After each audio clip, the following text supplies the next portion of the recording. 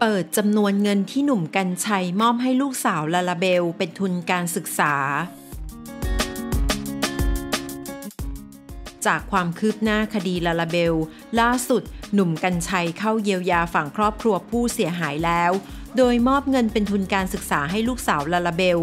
ด้านชาวเน็ตแห่ชื่นชมความมีน้ำใจของพี่หนุ่ม คืบหน้าลาลาเบลล่าสุด นายกิติศักดิ์วงประจันหรือคุณโทน พี่คนสนิทของลาลาเบลที่ออกมาเคลื่อนไหวเรื่องคดีมาโดยตลอด และในวันนี้คุณโทนได้ออกมาโพสต์ Facebook เผยเรื่องราวอิ่มหัวใจกับภาพพี่หนุ่มกัญชัยกำลังมอบทุนการศึกษาให้ลูกสาวของลาลาเบล โดยระบุเป็นจำนวนเงิน 60,000 บาท ทั้งนี้นายกิติศักดิ์วงประจันได้โพสต์ข้อความบน Facebook เกี่ยวกับเหตุการณ์นี้ว่า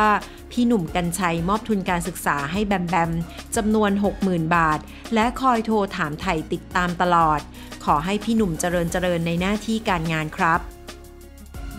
ขอขอบคุณข้อมูลจากสยามนิว .com